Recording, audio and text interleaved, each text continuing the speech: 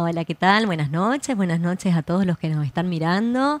Y bueno, gracias por invitarme al día después, nada más importante que el día después. Por supuesto, bueno, la, pregunta es, eh, ¿cuál es el análisis que hacen desde, eh, desde el frente? Eh, ¿Cómo ven esta, este gran caudal de votos para Javier Milei? ¿Y cómo analizan o cuáles son las estrategias que se pueden llegar a plantear de acá a octubre? Bueno, en lo personal yo soy una persona que soy muy autocrítica, digamos, y considero que nosotros dentro del espacio donde cada uno está, y más aquí, digamos, en la provincia, donde en la provincia el espacio más votado fue Unidos por la Patria, Sergio Massa estuvo muy acompañado, digamos, por las diferentes localidades, excepto, bueno, la zona de lo que fue Charata y la zona metropolitana, digamos, Gran Resistencia, pero después mantuvimos los votos de los compañeros y compañeras y hay que seguir manteniéndolos hasta octubre e invitar, digamos, a todos aquellos que no lo han hecho. Pero sí soy muy autocrítica en decir que para mí no hay que centrarse en el personaje de ley, sino hay que centrarse en lo que cada uno hace, en lo que cada uno no hace y también en esto de ver qué estamos ofreciendo y qué realidad estamos viendo de cara a la Argentina que tenemos hoy. Entonces sí, en esta, en esta sorpresa para todos y para todas de las urnas, porque las urnas hablan y te cantan justamente lo que está pasando. Lo mejor que uno puede plantear es una autocrítica y decir, bueno, nosotros como espacio tenemos que salir, tenemos que seguir en el día después un ratito de catarsis y después arremangarse, dejar de hablar solamente con los compañeros y compañeras, sino comenzar a hablar con todos, con aquellos que no se sienten parte, que no se sienten incluidos. El índice en, en Chaco sigue siendo muy bajo. Ayer ha votado el 62% del padrón. Era lo mismo que se votó en junio, que fue un fin de semana largo, fue el Día del Padre. Ayer volvemos a tener ese mismo índice. Entonces hay ciudadanos que siguen sin ir a votar. ¿entendés? Hay ciudadanos que siguen votando en blanco. Entonces me parece que ahí es donde está el sector que nosotros tenemos que ir a buscar y contarle el modelo de país que proponemos con Sergio Massa como conductor. Eh, se decía que era una elección de tercios, por la gran cantidad de la división de los votos, pero hay una, eh, una distancia de tres puntos entre en este caso eh, Unión por la Patria y, Javier Milei. Eh, ¿Hacia dónde deben ir apuntadas las políticas? ¿Cómo cree que se va a apuntar o se va a trabajar en la campaña? Y mira, acá en realidad es muy concreto y es, está, son dos propuestas polarizadas, ¿no es cierto? O sea, a mí, ¿qué me da miedo? A mí me da miedo que la persona, individuo más votada sea alguien que diga que se van a poder vender los órganos en una plataforma virtual, digamos. Entonces, si esa persona es la persona que ayer tuvo los, el número más grande en toda la Argentina, realmente a mí me da miedo y me da tristeza por lo que nos depara y por lo que la gente elige. Si después es un voto de bronca y es un voto de escarmiento, es otra cosa. Porque si es un voto de bronca y de escarmiento, quiere decir que nosotros debemos hacernos cargo de lo que la gente nos está diciendo, que ojalá pienso yo que en cada provincia los cabezones lo puedan hacer, porque yo sostengo que en esta paso nuestro conductor, Sergio Massa, también la jugó solo, o sea que los puntos que nosotros tuvimos son puntos que ganó la boleta celeste y blanca, que ganó él por lo que viene haciendo y construyendo y lo que planteábamos hoy, a ver, ¿por qué Messi puede ser el mejor jugador del mundo y por qué Messi puede hacer los goles que hace? Porque tiene 10 personas que forman parte de su equipo y que lo están acompañando en la misma jugada para que él pueda ser el goleador del equipo. Entonces eso también tenemos que ser media, media culpa y decir, a ver, quién acompañó y quién realmente ni siquiera pasó la pelota. Quién acompañó y quién se quedó en el banco de suplente. Comenzar a hablar de lo que hay que hablar y comenzar a replantear y a sumar a todos y a todas. Acá realmente me parece que en cuanto a las elecciones es una elección bipolar. Realmente es un modelo de país enfrentado con el otro. O sea, yo que voté a una persona que diga en el siglo XXI que la homosexualidad es una enfermedad, me parece terrible que voten a una persona que diga en el siglo XXI que hay que sacar la ESI. La ESI te puede gustar o no gustar, pero realmente en las escuelas públicas uno le enseña a las infancias que no le pueden tocar sus partes íntimas porque son de ellas y hay muchas infancias que no tienen la posibilidad de tener ese aprendizaje en la casa. Entonces, una persona que te comienza a quitar derechos, yo vacuno a mis hijas en la salita que está a la vuelta de mi casa y no pago un peso yo soy abogada porque estudié en la UNE y no pagué un peso más que una fotocopia y el alquiler de mi departamento. Entonces realmente hay que comenzar a hablar bien de un modelo de país que queremos, independientemente de lo que nos falta. Y creo que en esta fórmula y en este espacio de Unidos por la Patria, Sergio era la persona más adecuada para poner orden, que es lo que pide la gente, para planificar un modelo de país distinto, un modelo de país de control y un modelo de país realmente con perspectiva de desarrollo y de trabajo, que también es lo que la gente pide. Entonces yo creo que la gobernanza solamente para un sector social es lo que la gente también pide que se cambie. Entonces yo creo que Sergio viene también desde otro lado, desde otra vertiente, que es un tipo que viene de las intendencias del municipio de Tigre, que es una persona que viene del sector privado, porque antes la laburaba desde ahí.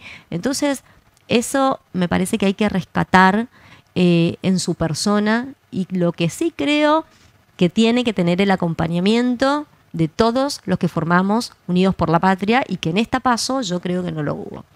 Eh, hacia ahí va la otra pregunta. Eh, ¿Cree que hay que volver a juntarse, a plantearse los, los objetivos, digamos, desde dentro del partido, dentro del frente? Porque eh, usted sintió que hay gobernadores o hay distintos lugares que no estuvieron trabajando entonces. Sí, yo creo que más que nada los objetivos están bien planteados. Eh, él, junto con todas las partes y las coaliciones que acompañan en nuestra, en nuestra fórmula, eh, se plantea objetivos y un modelo de país muy marcado y muy profundizado. Creo que solo falta patear más la calle, charlar con aquellos vecinos y vecinas que eh, no están y no se sienten parte de la política, porque muchas veces a nosotros que nos pasa, vivimos en un microclima y creemos que todos saben las ideas, que todos saben las cosas, y no, la verdad que hay que salir, hay que informar, hay que buscar este, esta persona que no votó, hay que buscar esta persona que votó en blanco, mostrarle los dos modelos de país que se están ofreciendo. Y yo la verdad que que recién, ¿no es cierto?, charlaba con un amigo, un compañero de Corrientes, y él me decía algo muy, muy eh, importante. Dice que cuando uno adquiere derechos, y más que nada los jóvenes que ya vienen con una mochila de derechos hasta el momento, desde el momento de nacer, que realmente eso es maravilloso, cuando uno adquiere derechos pasa como la relación con los abuelos. Cuando vos tenés un abuelo, un abuelo te llama y te invita a tomar un matecito y bueno, podés ir porque estás ocupado, porque estás trabajando, porque realmente te estás ocupando de lo urgente para apagar el incendio y no de lo importante. Y cuando el abuelo fallece, a vos te dan ganas de tomar ese matecito y te vas a buscar el matecito y el matecito ya no está más. Y puedes tomar matecito con un montón de gente, pero no es el mismo matecito. ¿Y qué es lo que pasa? Con los derechos pasa exactamente igual. Cuando los tenemos, nos parece que es natural y no los valoramos. Entonces irme a vacunar gratuitamente es natural, irme a un secundario sin pagar nada es natural, irme, ¿no es cierto?, a, a, trabajar y poner un emprendimiento y recibir una ayuda del Estado es natural, que a mí me paguen por poder estudiar, para tener para mi colectivo, para mis apuntes, el progresar es natural. Y cuando todo eso no esté, ahí yo creo que lo vamos a extrañar y lo vamos a necesitar. ¿Se eh, piensa que las elecciones, el trabajo del frente oficialista aquí debe, debe estar apuntado hacia el balotaje? Porque los números que se manejaron al final del domingo, al principio de esta mañana, dan cuenta de tercios, nuevamente le voy a decir.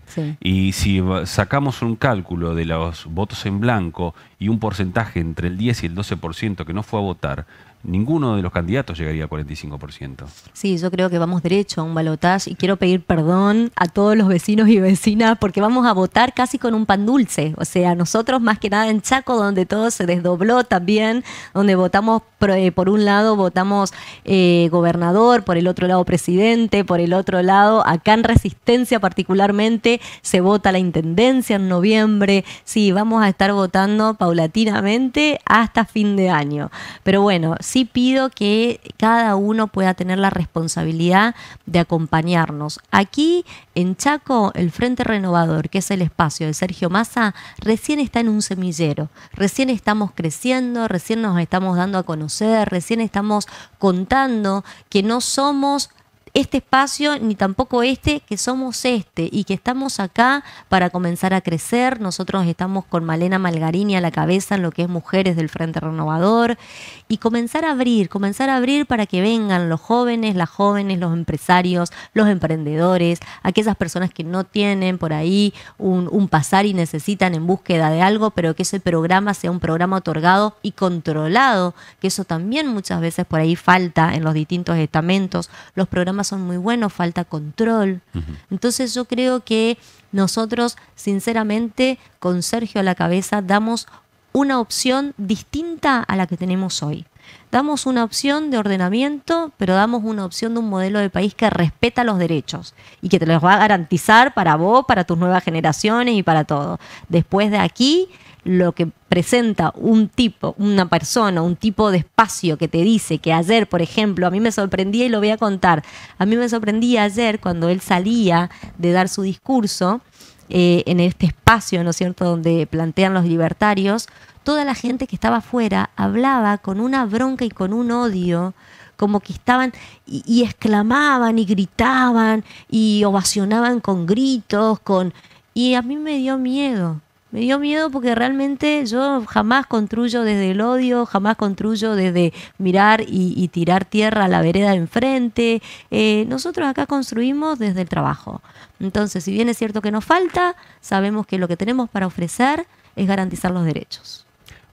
Un mensaje de cara a octubre. El trabajo eh, arranca, van a tener reuniones pronto, eh, ¿tienen algún, alguna noticia respecto? Sí, sí, sí, vamos a tener reuniones ya en lo que va de esta semana. La idea es poder reorganizarnos, en Chaco mantener los puntos. Nosotros acá en Chaco se ganó por un 36 más o menos en lo que es la boleta completa y solo la presidencial fue un 41%, o sea que fue un poquito más. Así que bueno, sostener las boletas eh, celeste y blanca, invitar a todos que vayan a votar. Nosotros en septiembre tenemos una que es la provincial y las intendencias en el interior. Así que bueno, invitar a todos que ejerzan su derecho. Las urnas hablan, hay que saber escucharlas. El día después es muy importante, por eso me pareció muy bueno esta invitación que te agradezco un montón de poder charlar a través de ustedes con los vecinos y vecinas. Y bueno, el Frente Renovador aquí en Chaco, creciendo, apoyando a Sergio Massa, abiertos a toda propuesta y a toda persona que quiera sumarse.